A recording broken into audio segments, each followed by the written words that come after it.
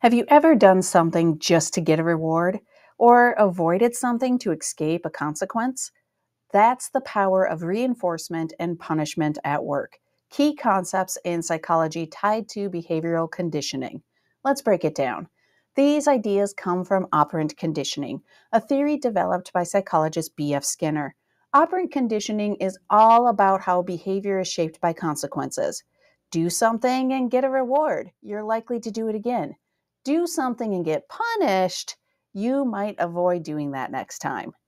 Now, here's where it gets interesting. There are two types of reinforcements and two types of punishments. And with them, the word positive doesn't always mean good, and negative doesn't always mean bad. So let's look at the four and play some examples with it to make it more clear. Positive reinforcement means that you are going to be adding something to increase a behavior. Think of the word positive as a plus. You're adding something desirable. So, for this, a student that studies hard and gets praised by the teacher, that praise makes them want to study more. Or a child cleans their room and earns extra screen time. That reward increases the chance they'll clean again.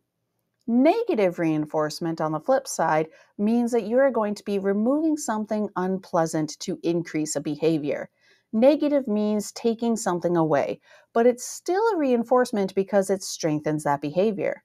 So, for example, when you jump into your car and buckle your seatbelt, you do that because it causes that annoying beeping sound to stop. That relief makes you more likely to buckle up every time you get in the car right away. Another example is a teen does their homework early to avoid nagging from their parent. The behavior increases because it removes a negative experience. Now let's talk about punishments. Positive punishment means that you are adding something unpleasant to decrease a behavior. It's positive because something is being added, but the goal is to stop the behavior. So, for this, a student talks out of turn in class and gets extra homework. That added consequence makes them less likely to interrupt again. Or a dog jumps on someone and gets sprayed with water. That added discomfort discourages the behavior. Negative punishment means that they are going to be taking away something desirable to decrease a behavior.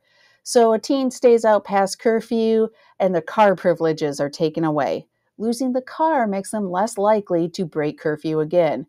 Or a child throws a tantrum and loses access to their favorite toy. The removal of this reward helps reduce outbursts in the future, hopefully. So, why does this matter? Understanding reinforcement and punishment helps us shape behavior, whether in a classroom, at home, in the workplace, or even in our own lives. It's a powerful tool for parenting, teaching, coaching, and therapy. And it all ties back to the bigger picture conditioning. Just like Pavlov's dogs learn to drool at the sound of a bell through classical conditioning, people learn behaviors based on the consequences that follow them. It's operant conditioning. By being aware of these tools, we can encourage, encourage positive habits and reduce unwanted ones, not by guessing, but by understanding how human behavior actually works. So, next time you reward yourself with a snack for finishing a task or try to break or stop something, you're just not managing your day. You're using reinforcing behavior you're doing psychology, you're putting it into practice.